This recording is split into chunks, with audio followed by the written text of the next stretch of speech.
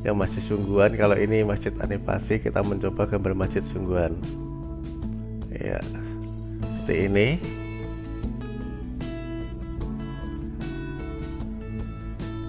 Gambar masjid ini menutupi yang belakangnya. Maka masjid ini kita backgroundnya kita hapus. Hari raya idul fitri 1 syawal 1441 hijriah. Kalau kita selipkan pula gambar misalnya minal aidin wal faidin misalnya. Nah, seperti ini. Assalamualaikum warahmatullahi wabarakatuh. Selamat bertemu kembali dengan channel Bambang Suripno Kali ini akan menyampaikan materi tutorial pembuatan flyer ucapan Hari Raya Idul Fitri bagian kedua. Menggunakan PowerPoint untuk itu semoga dengan belajar bersama berbagi ilmu yang sederhana ini semoga dapat bermanfaat dengan ucapan bismillahirrahmanirrahim semoga belajar pada kali ini dapat membawa berkah. Mari kita langsung aja kita praktekkan membuat flyer kartu lebaran dengan powerpoint. Kita buka powerpointnya. Kita ambil yang kosong kemudian kita hapus. Kali ini kita seperti biasa ambil insert kemudian sabes kita ini banyak menu ini bisa digunakan semuanya. Kita nyoba pakai ini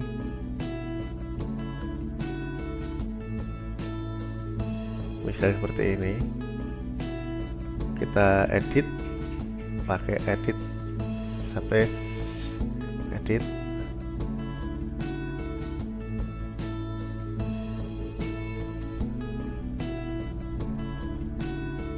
Kita bentuk. Misalnya demikian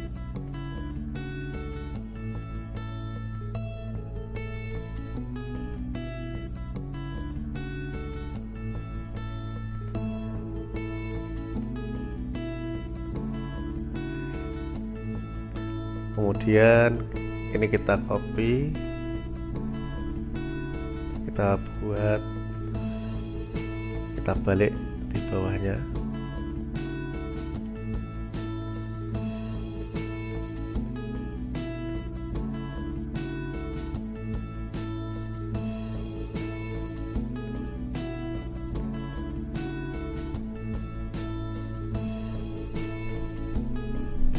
Supaya kita putar aja. Ada perbedaan.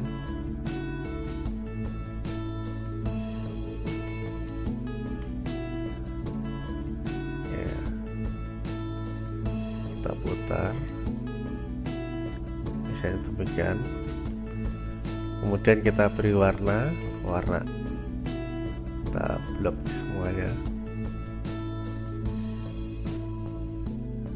kemudian agar ini tampil belum tampil ini kita warnanya kita pilih. Saya mau suka warna apa? Kita pilih misalnya transparan aja seperti ini ya. Terus untuk menampilkan yang gambar tadi kita ambil sandbag ya. Kemudian ini juga kita beri warna pula yang bisa. Misalnya seperti ini. Sudah ada perbedaan tiga warna. Kemudian langkah selanjutnya kita mengambil gambar. Gambar kita insert saya ulangi mengambil gambar kita insert. Kalau kemarin kita pakai copy paste sekarang kita pakai insert. Pilih picture picture kita ambil gambar.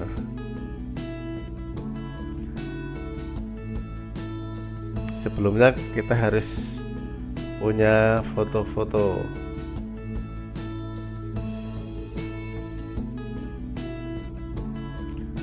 Ya. Kita ambil misalnya gambar masjid yang masih sungguhan kalau ini masjid animasi kita mencoba gambar masjid sungguhan. Ya seperti ini. Masih setia di channel Bambang Suripno untuk belajar bersama berbagi ilmu. Dengan materi yang sederhana semoga bermanfaat. Jangan lupa untuk memberikan subscribe, like, dan jempolnya. Bunyikan loncengnya untuk mendapatkan video tutorial dari saya yang terbaru Bagi yang membutuhkan video tutorial saya bisa diunduh di link videonya di kolom deskripsi di bawah video ini. Terima kasih, semoga dapat bermanfaat. Mari kita lanjutkan tutorial kali ini. Gambar masjid ini menutupi yang belakangnya, maka masjid ini kita backgroundnya kita hapus. Pakai ini. Remove background. Nah, ini. Ya remove background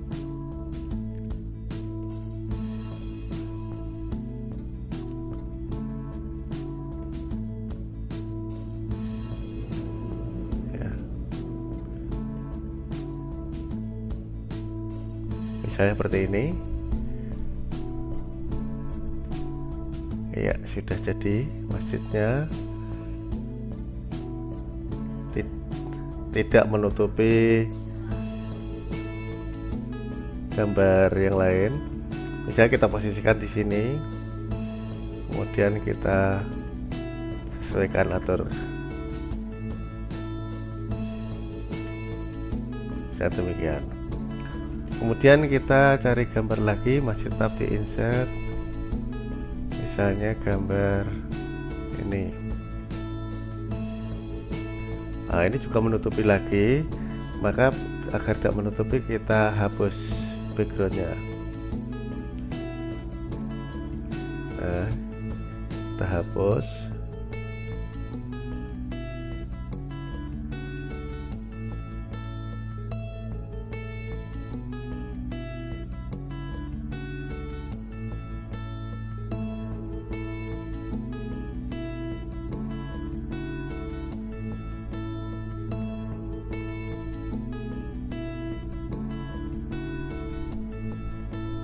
kita atur sedemikian rupa.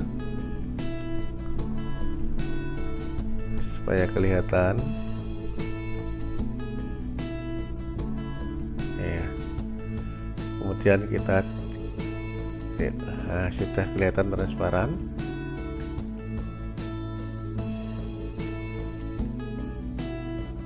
Kemudian kita perkecil.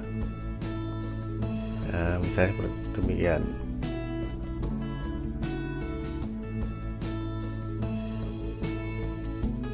kita ambil lagi gambar lagi. Ke insert ke misalnya nggak apa-apa bebas. Ya ini.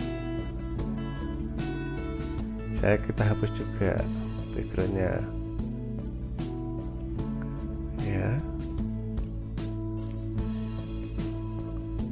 Nah ini kelihatan ada orangnya sini kemudian tinggal kita menulis. Misalnya ucapan uh, keluarga besar dari mana. Karena nulisnya uh, kita tetap insert text box kita tulis saya keluarga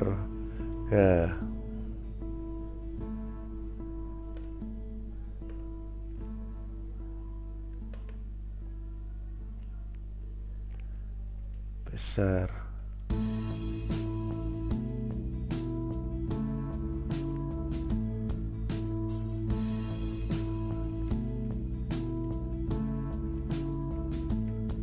Keluarga besar KKG Madukoro Kecamatan Bogorejo.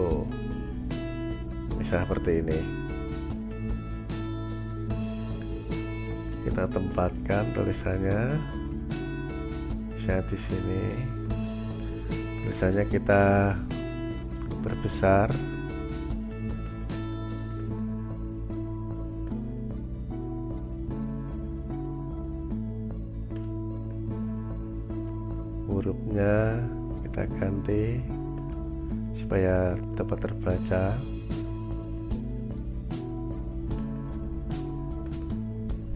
saya warga besar KG Madukoro Kecamatan Bogorjo misalnya. Seperti ini.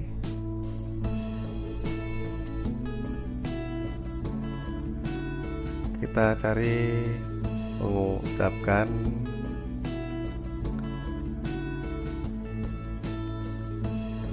kita lagi tulis mengucapkan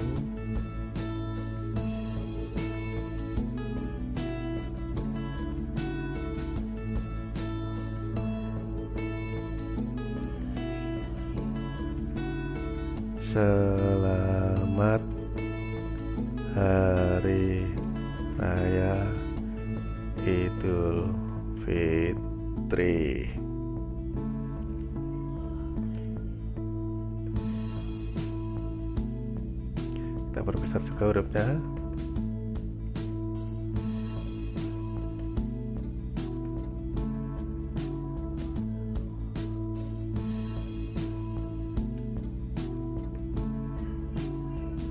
warnanya kita rubah.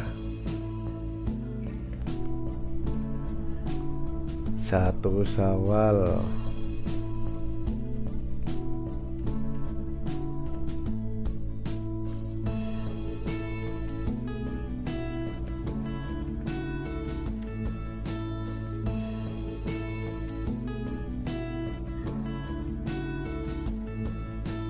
Seperti ini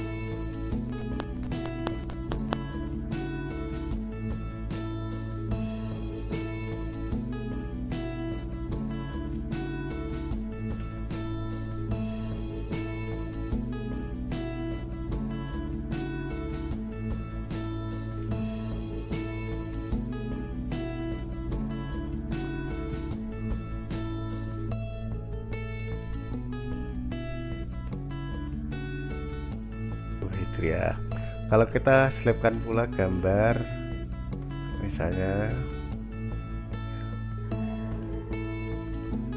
minal aidin wal misalnya. Langkah selanjutnya mengubah powerpoint ini menjadi gambar. Yang sehingga kita nanti bisa mengirim ke orang lain itu sudah berupa gambar berupa flyer yang berisi ucapan Hari Raya Idul Fitri. Nah, untuk itu untuk merubah PPT ini menjadi gambar, kalau untuk part 1 kemarin menggunakan Google Convert, yaitu PPT diubah, dikonversi menjadi JPG.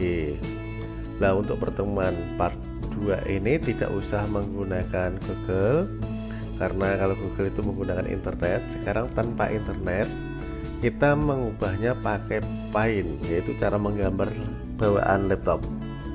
Caranya adalah yang pertama ini kita copy kita copy kemudian kita mencari poin yang ada di desktop kita mencari Paint yang ada di desktop ini Paint kemudian lain ini gambar tadi kita copy. Namun sebelum kita copy kita resolusinya diatur biar mudah kita kopikan di sini. Nah kemudian kita perbesar sesuai ini. Nah sudah jadi. Kalau sudah seperti ini kita simpan. Simpannya jangan save tapi save as. Disimpan ke JPG nah, kita beri nama lebaran 2 kita simpan save. Kalau sudah kita lihat di tempat nah ini lebaran 2 kita buka nah sudah jadi lebaran 2 untuk itu Sampai di sini pertemuan pembuatan flyer ucapan Hari Raya Idul Fitri. Semoga nanti dapat bertemu kembali pembuatan flyer yang part ketiga.